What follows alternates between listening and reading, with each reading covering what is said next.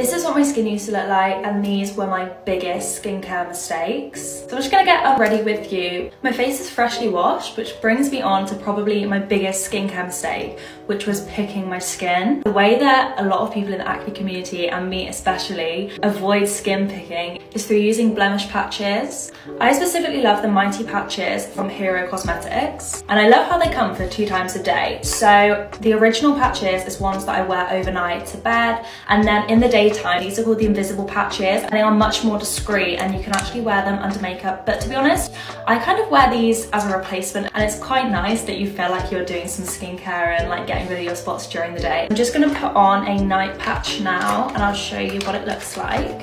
This is the removal of one of my blemish patches in the morning and you can see how much gunk that has pulled out of my face. My third and final skincare mistake was definitely the DIY mask era. Worst mask that I made, other than the lemon juice, was the charcoal and PVA glue mix. I literally remember going to buy a whole bottle of PVA glue and putting in charcoal tablets, smothering it all over my face and peeling it off. If you're doing peel off masks still, we'll bring that to a halt today. Please let me know your skincare mistakes down in the comments because I bet loads of us will have done the same thing.